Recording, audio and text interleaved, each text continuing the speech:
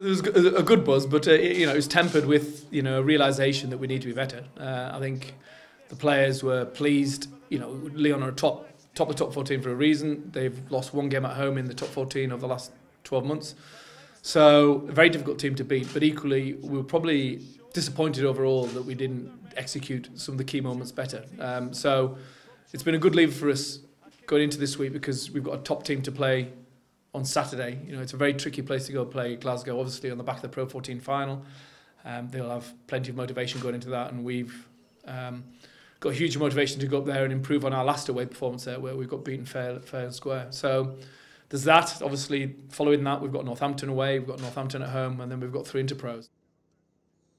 They obviously suffered, you know, as we as, as everyone did in the World Cup with key players being away, um, and you know the Pro 14 will be a huge motivation for Glasgow and you know, they'll need the points for sure. So um, that plus, you know, the, the final from the end of last season, uh, the quality of players they've got, the quality of coaching staff they've got.